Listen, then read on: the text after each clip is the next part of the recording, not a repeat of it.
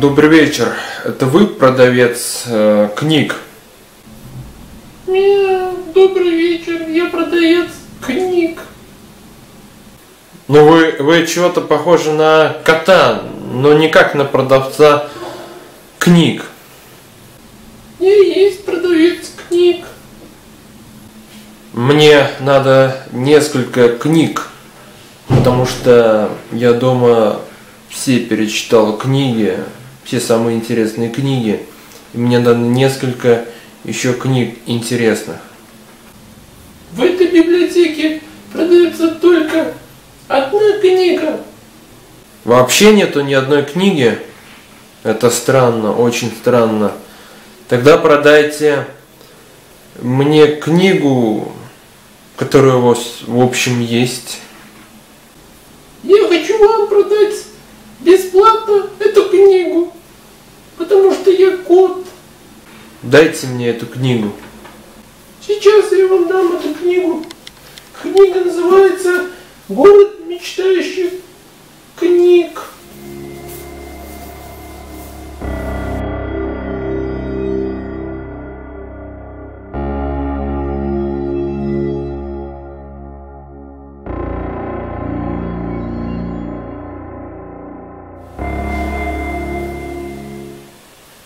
Добрый вечер, дамы и господа. Теперь место кота. Купил я книгу «Город мечтающих книг». Автор Вальтер Мойерс. Так она вот выглядит.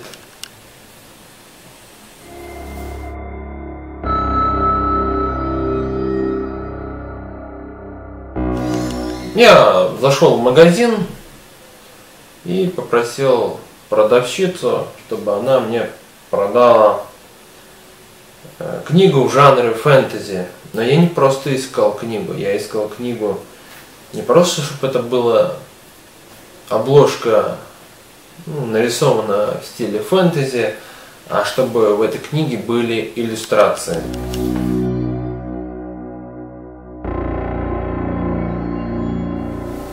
Вот так вот, когда открывается книга, выглядит все это вот так вот. То есть книга открывается, и тут мы видим такая иллюстрация красивая.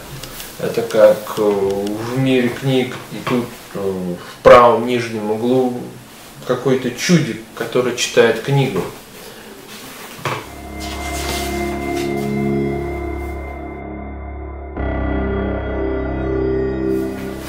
Немного о книге.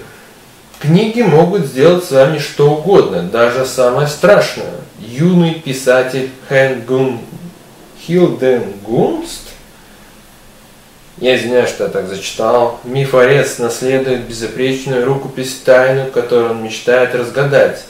След ведет его Книгород. Что-то похоже на Горгород, но тут написано Ки... Книгород с большой буквы К.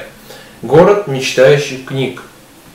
Вальтер Мойерс вводит нас в волшебный мир литературы, где книги не только развлекают и, или удивляют, но могут свести с ума или погубить впервые в полном отредактированном переводе. Часть первая, завещание Данцелота, и тут нарисована свечка.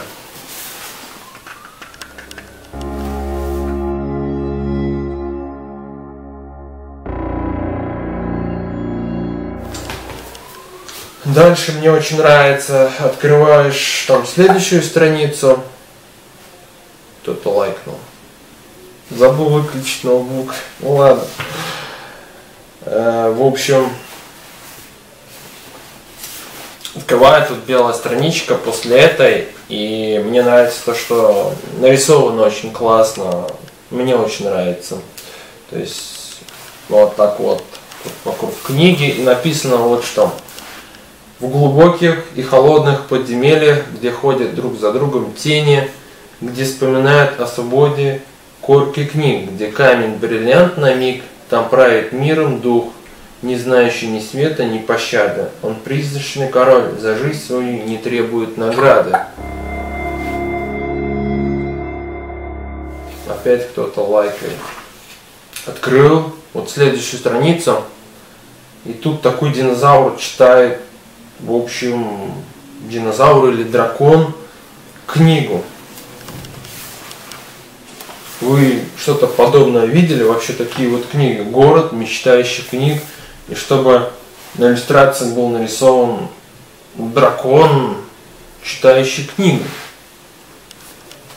Тут много чего интересного нарисовано, мне кажется, даже написано.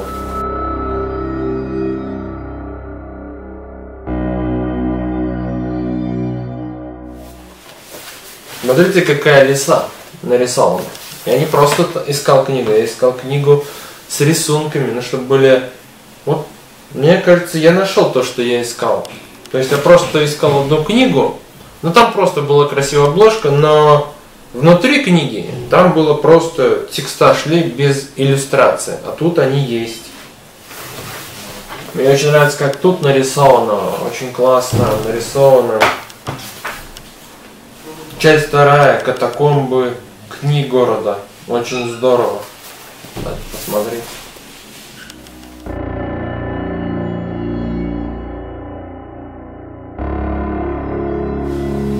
Мы смотрели блог «Город мечтающих книг». Пишите свои комментарии, ставьте лайк, подписывайтесь на канал. Может быть, в этом месте будет кот продавец.